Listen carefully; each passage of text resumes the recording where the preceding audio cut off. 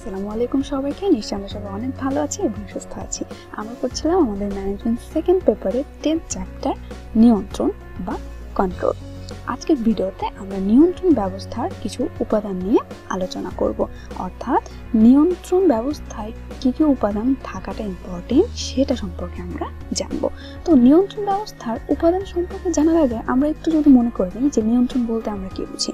নিয়ন্ত্রণ হচ্ছে যে পূর্ব নির্ধারিত আদর্শ মানের সাথে যে আমার প্রকৃত যে কাজটা সেটার একটা তুলনা করা, সে প্রকৃত কাজের যে ফলাফলটা সেটার একটা তুলনা করা এবং সেখান থেকে যে বিচ্যুতিটা আমি পাই বা যে প্রবলেমগুলো আমি পাই সেগুলো সংশোধনের একটা ব্যবস্থা রাখাই হচ্ছে নিয়ন্ত্রণ। তো নিয়ন্ত্রণ ব্যবস্থা ব্যবস্থার উপাদানগুলো যদি এখন আমরা দেখে নিই, কী কী?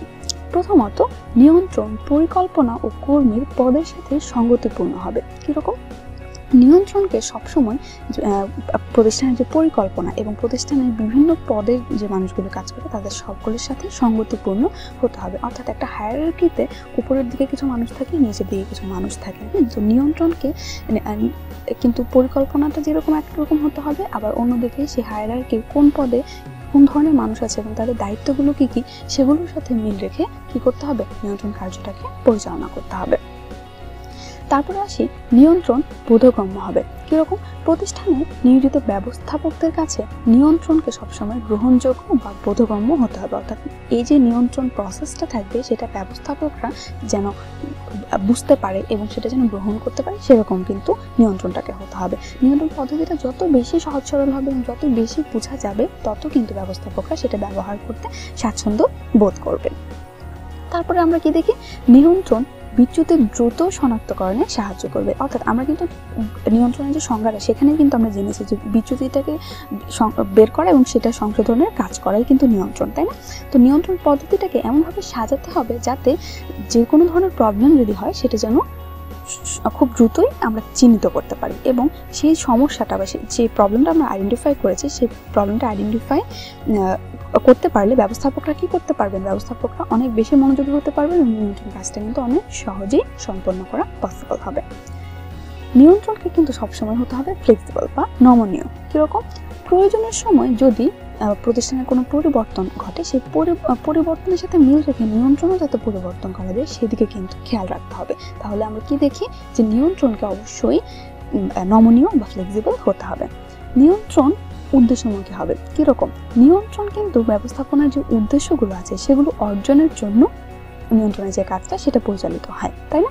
তাহলে নিয়ন্ত্রণের উদ্দেশ্যটা কি হবে? নিয়ন্ত্রণের উদ্দেশ্য হবে ব্যবস্থাপনার যে উদ্দেশ্যগুলো আছে, সেটা অর্জন। সেই অর্জনের কাজটাই হচ্ছে নিয়ন্ত্রণ। তাহলে নিয়ন্ত্রণের নিয়ন্ত্রণ সবসময় উদ্দেশ্যমুখী হবে। নিয়ন্ত্রণ হবে সামঞ্জস্যপূর্ণ। কীরকম? নিয়ন্ত্রণ পদ্ধতি সাংগঠনিক পরিবেশের সাথে সামঞ্জস্যপূর্ণ হতে হবে। অর্থাৎ যেখানে অনেক কঠোর নিয়ন্ত্রণ পদ্ধতি থাকে, সেখানে আমাকে কর্মী, কর্মীদেরকে কিন্তু সেভাবে হ্যান্ডেল করতে হবে। আবার যেখানে একটু ফ্লেক্সিবল নিয়ন্ত্রণ পদ্ধতি থাকে, সেখানে কিন্তু আমার কর্মীদেরকে অনেক বেশি ফ্লেক্সিবিলিটি দিতে হয়, তাই তাহলে নিয়ন্ত্রণকে কী করতে হবে? সবসময় তার কাজের সাথে, তার পরিকল্পনার সাথে সামঞ্জস্যপূর্ণ স্টেপ নিতে হবে। নিয়ন্ত্রণ হবে স্বল্প ব্যয় সাধ্য।